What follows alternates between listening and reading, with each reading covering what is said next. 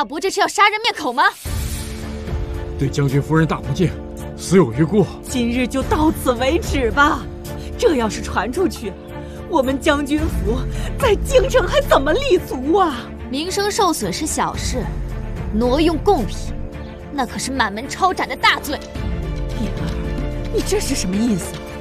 自己看看吧。逆子，你给我跪下！燕儿，大伯实在是没有办法呀。你大伯毕竟还是将军府的人，这事儿要是传出去啊，将军府就亡了。大房在将军府也待得够久，给你们三天时间收拾好回老家去吧。叶言，我就不信你敢指证我爹！将军府出了事，你也一样犯了欺君之罪。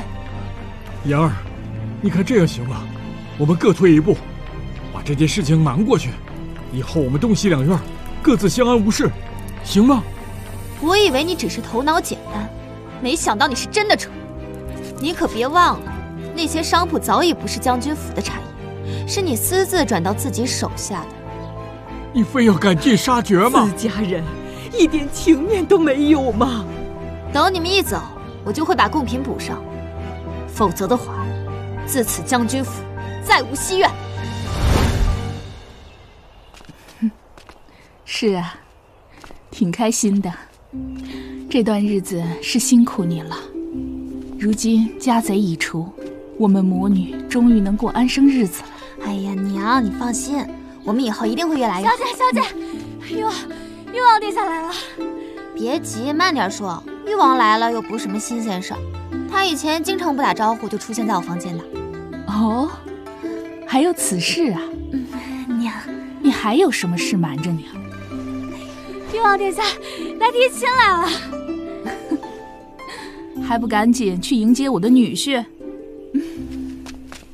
父亲，您快点想想办法吧，我可不想再回乡下老家那种破地方。说的是呢，叶言这次也太过分了。再怎么说，我们也是一家人呢。你在这说什么风凉话呢？你是皇家学院的学子，自然可以留在京城。闭嘴！婉心，你少说两句。现在都成什么模样了，还有心思斗嘴？雅晴，你要与郡主和几位皇子搞好关系，我们叶家的未来就靠你了，知道吗？哦对了，经常回府探望一下祖母，明白吗？是，父亲。雅琴定会照顾好祖母。照顾什么？亲儿子要走，他都不出现。现在是要投靠他们母女了吗？愚蠢！叶言和誉王即将成婚，母亲只要一日在府上，我们就有机会回府。难道真的要让这个女人嫁给誉王吗？我不甘心。成婚，想坏我的大事，我有的是办法让你们成不了婚。